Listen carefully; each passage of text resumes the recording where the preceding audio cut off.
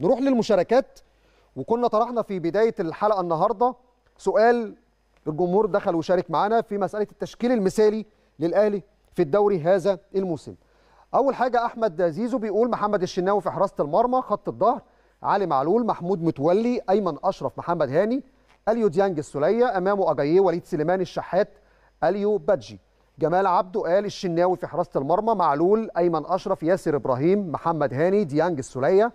كهربا قفشه حسين اجاييه يوسف محمود بيقول الشناوي محمد هاني أيمن أشرف ياسر إبراهيم علي معلول السوليه ديانج اجاييه قفشه مروان الشحات. طيب طبعا من خلال استطلاعات الرأي أكتر اتنين هتلاقوهم موجودين في التشكيلة المثالية محمد الشناوي وعلي معلول. نتيجة طبعا أكبر كم من المشاركات السنة دي كانت في الدوري العام وكان لهم دور كبير جدا في إحراز النادي الأهلي لبطولة الدوري.